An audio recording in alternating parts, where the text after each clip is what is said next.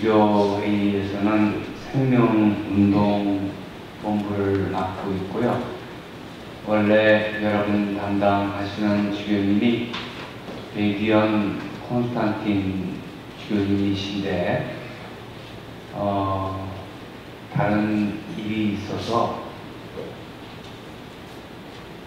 저에게 오늘 이 어, 시작 미사를 좀 이렇게 주례해 주십사 부탁을 하셨습니다. 그래서 무엇보다도 우리 한국 교회 전체로 볼 때 공동체 봉사자들이 어느 시대에 비교해 봐도 가장 중요한 그런 위치에 있습니다. 여러분들이 오늘 이 인사를 통해서 이번에 시작하는 연수가 주님의 뜻에 맞는 소공동체 복음화를 위해서 우리가 뭔가 할 수 있도록 하느님의 은총을 청하면서 이 미사를 봉헌하도록 하십시다. 이 미사 중에 소공동체가 도대체 될 수가 없는 그러한 지역 공동체의 형제 자매들 특히 냉담하고 있는 형제 자매들을 위해서 함께 기도드리겠습니다. 형제 자매 여러분 구원의 신비를 합당하게 거행하기 위하여 우리 죄를 반성합시다.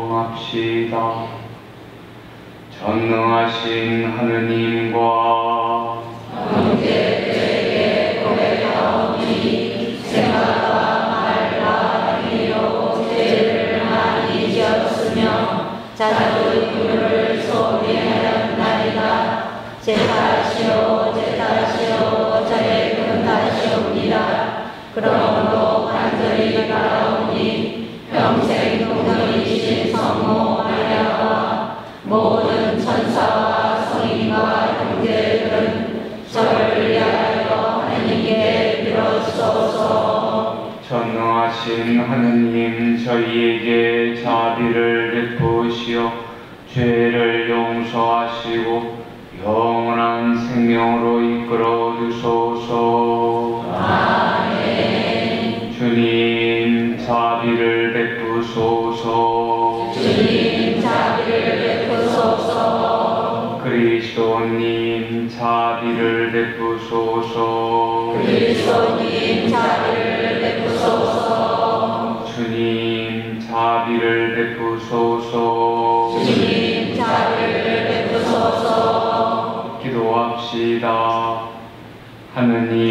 하느님, 하느님은 모든 선의 근원이시니 성령께서 이끄시어 저희가 바르게 생각하고 옳은 일을 실천하도록 도와주소서.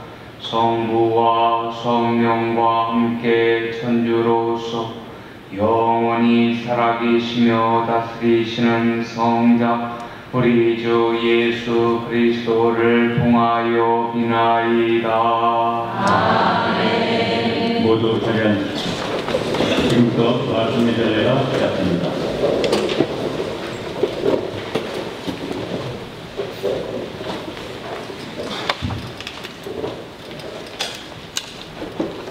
창세기의 말씀입니다.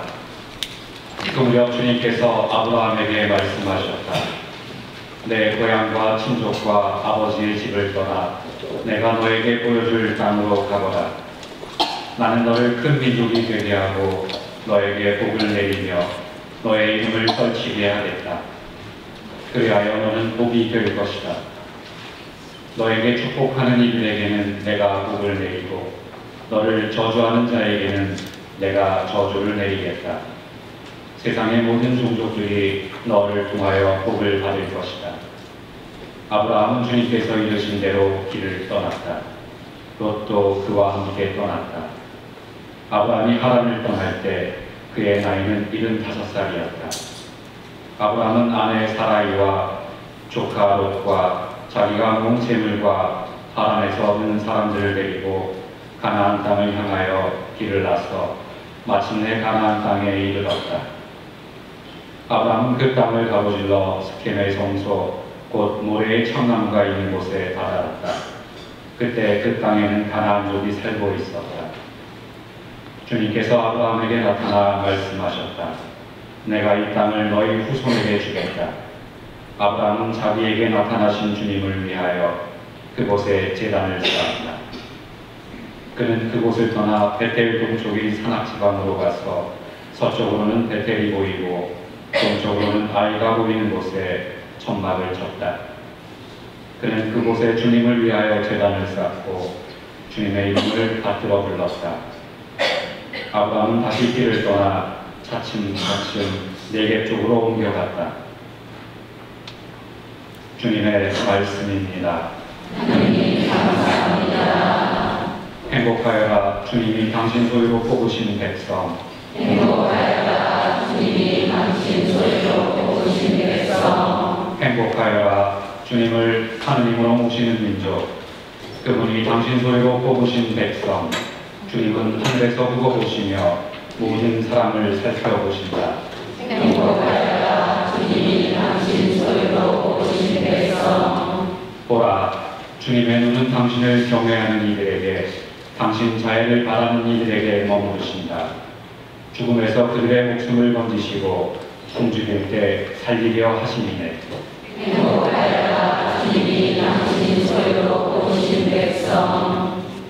주님은 우리 도움, 우리 방패, 우리 영원히 주님을 기다리네. 주님, 저희가 당신께 바라는 그대로 당신 자애를 저희에게 베푸소서.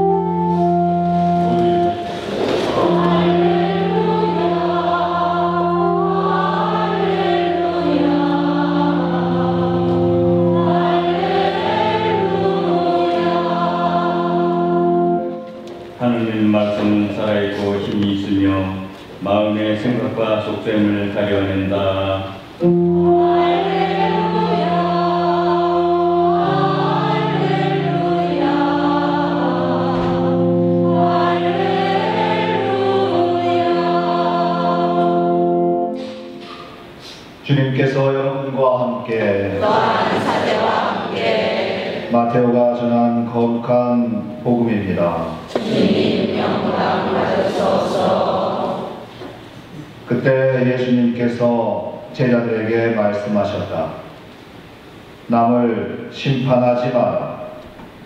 그래야 너희도 심판받지 않는다. 너희가 심판하는 그대로 너희도 심판받고 너희가 되지라는 바로 그 되로 너희도 받을 것이다.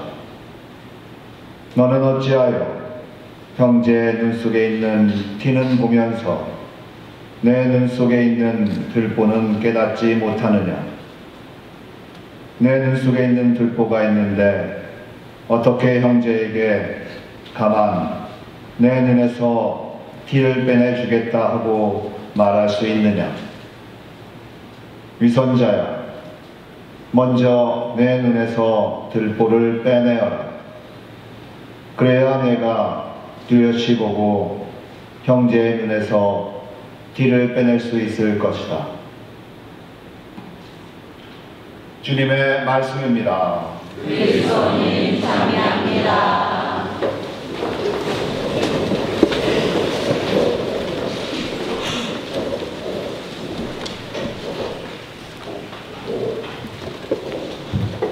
우리 소공동체 소위원 여러분들을 이렇게 뵈니까 지금은 제 마음이 많이 가라앉았습니다. 집에 있을 때는 가서 뭘 어떻게 이야기해야 할까 마이크까지 제 마음을 아는 것 같습니다.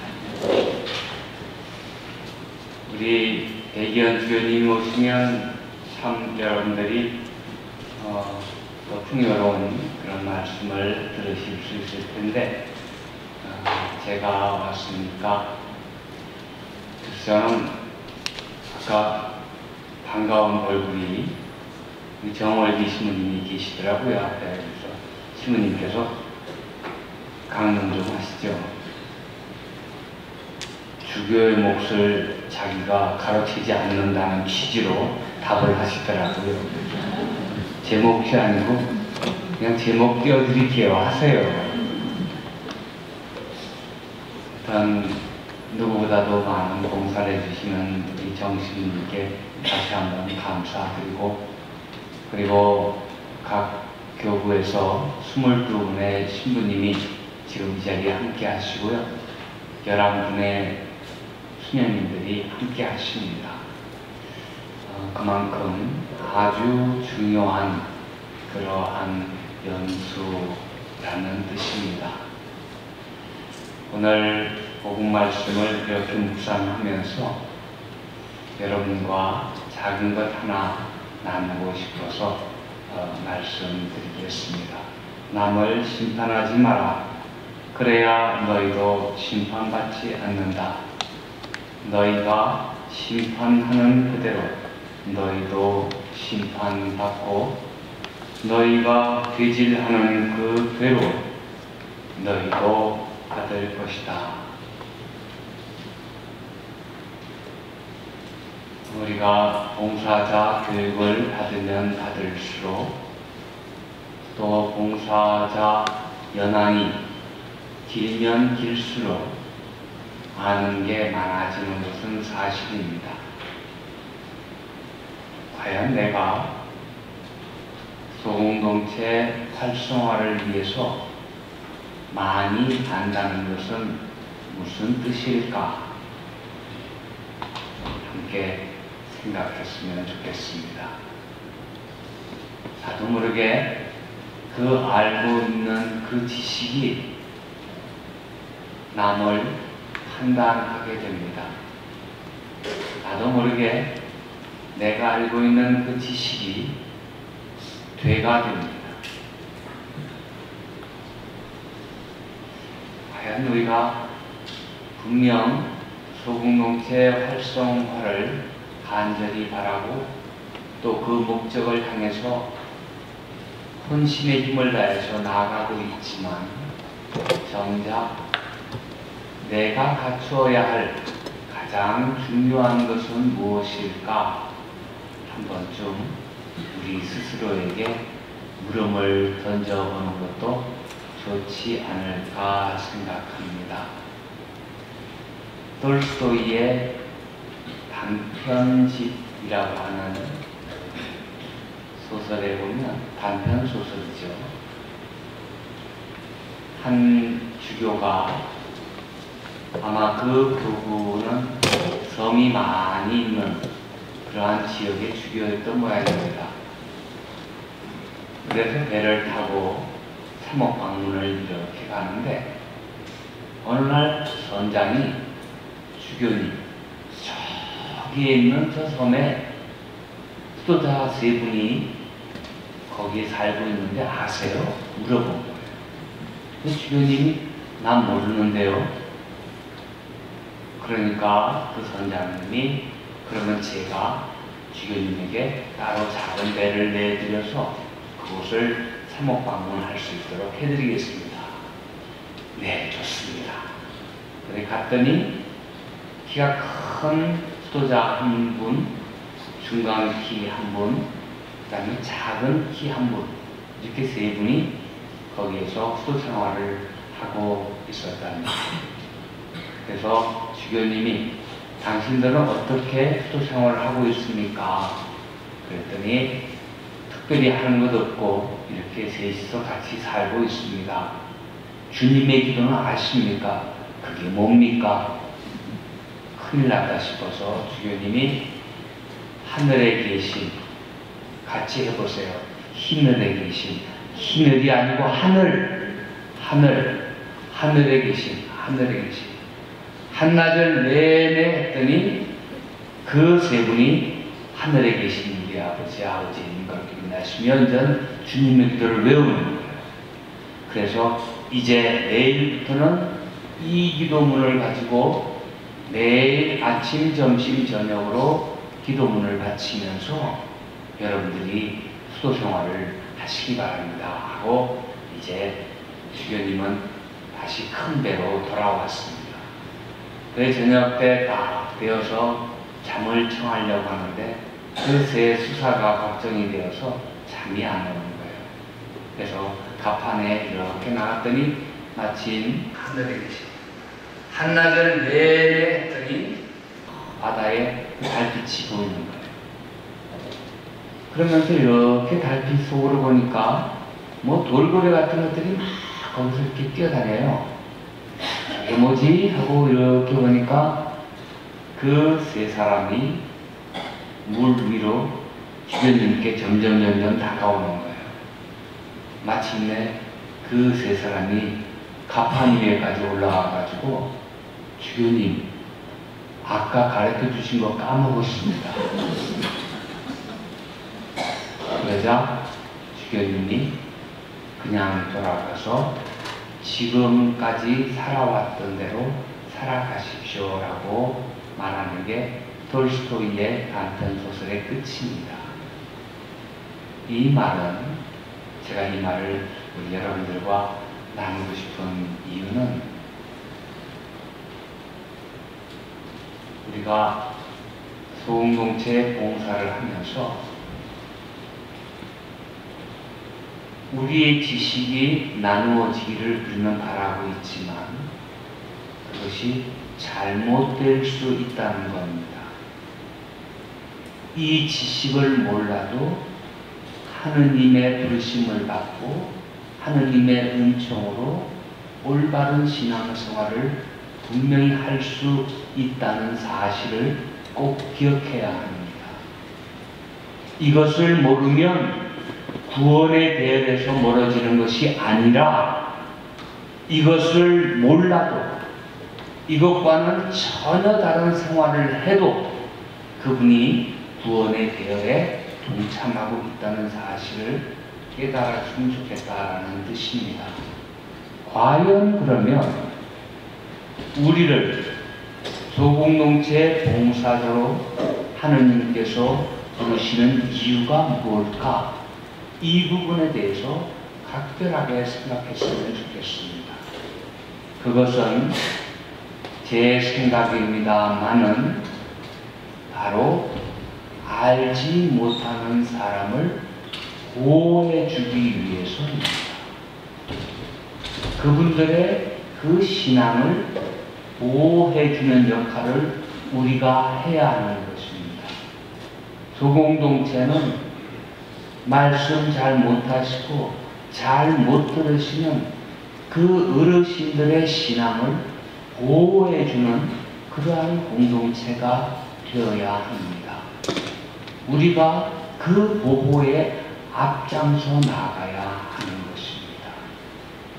어찌 보면 그것이 우리에게 오늘 이 복음 말씀에서 남을 심판하지 말라는 그러한 뜻으로 다가오지 않을까 생각합니다. 다시금 연수 기간 중에 우리가 미래를 향한 복음화의 봉사자가 될 수 있도록 주님의 풍성한 은총을 청하도록 하십시다.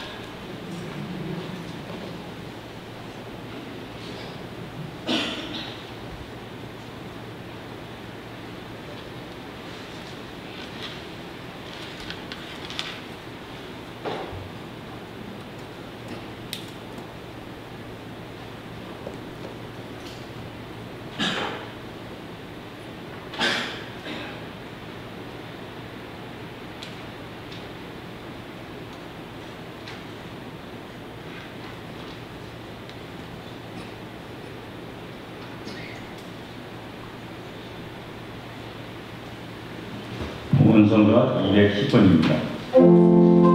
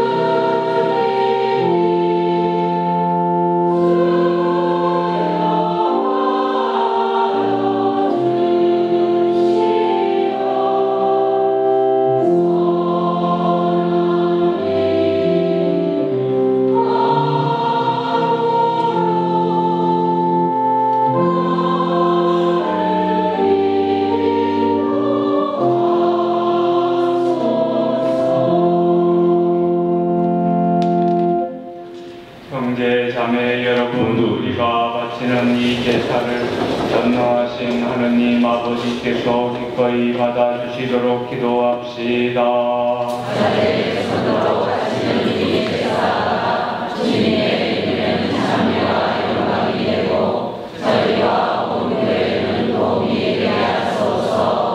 주님 이 제사를 자비로이 굽어보시어 저희가 바치는 예물을 기꺼이 받으시고 저희가 주님을 더욱 사랑하게 하소서 우리 주 그리스도를 통하여 비나이다. 주님께서 여러분과 함께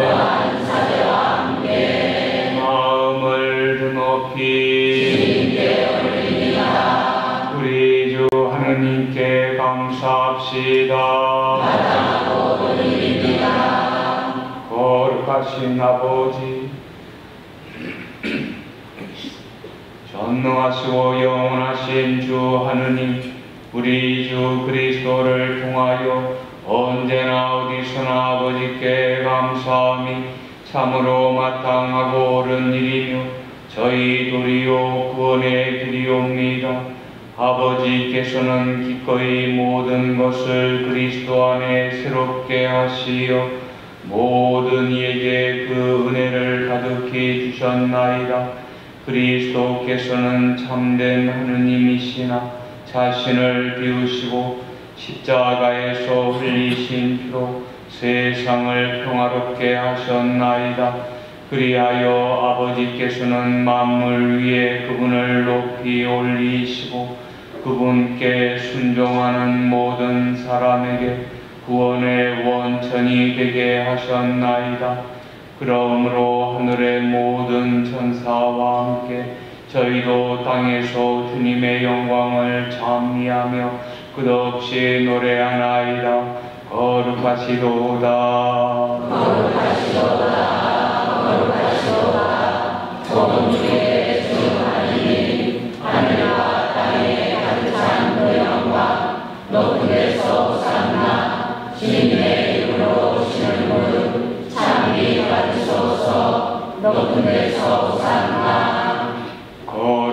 신 아버지, 아버지께서는 모든 거룩함의 셈이시옵니다.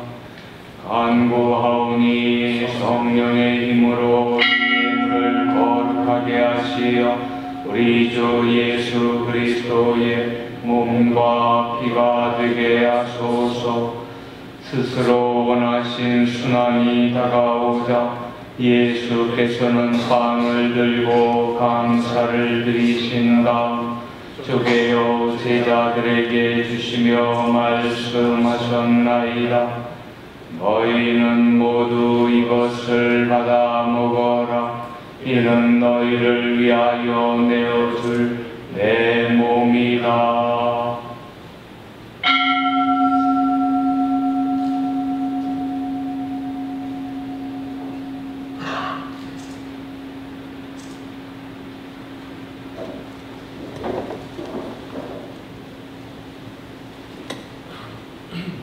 저녁을 잡수시고 같은 모양으로 잔을 들어 다시 감사를 드리신 다음 제자들에게 주시며 말씀하셨나이다.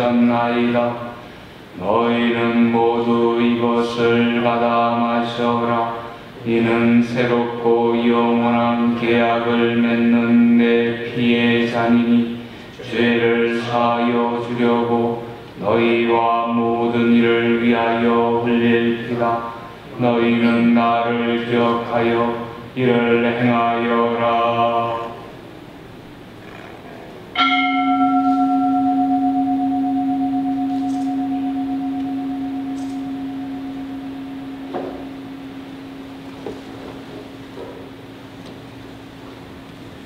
신앙의 신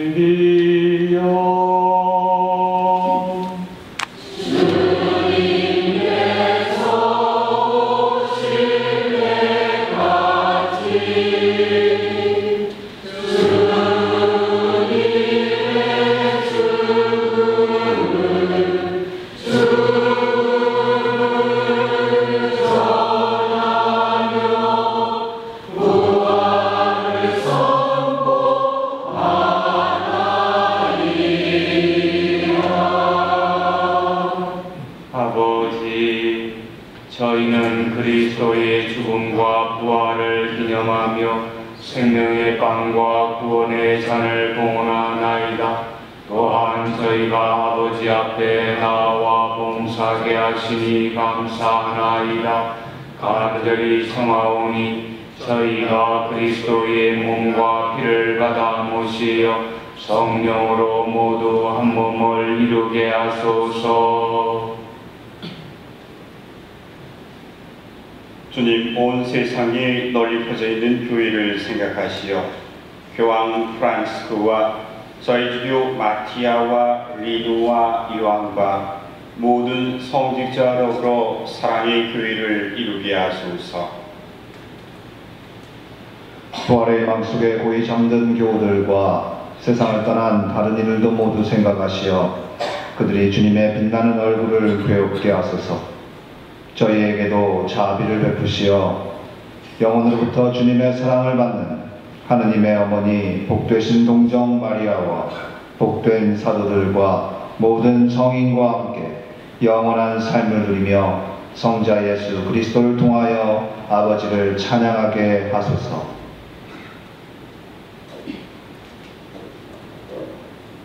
그리스도를 통하여 그리스도와 함께 그리스도 안에서 성령으로 하나 되어 전능하신 천주 성부 모든 영예와 영광을 영원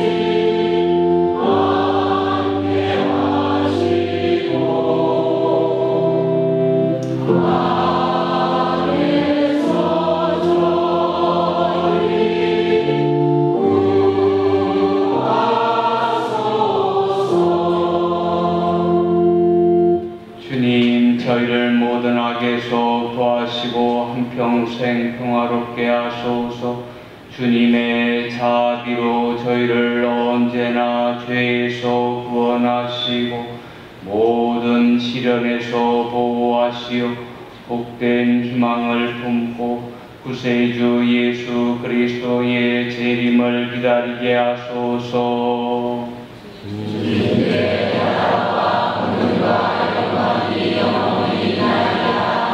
주 예수 그리스도님 일찍이 사도들에게 말씀하시기를 너희에게 평화를 두고 가며 내 평화를 주노라 하셨으니 저희 죄를 헤아리지 마시고 교회의 믿음을 보시어 주님의 뜻대로 교회를 평화롭게 하시고 하나 되게 하소서.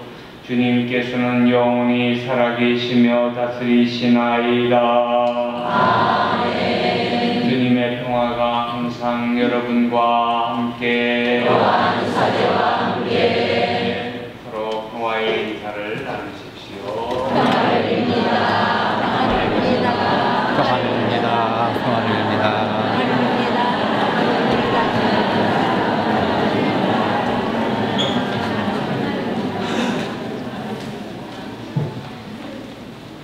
하느님의 어린 양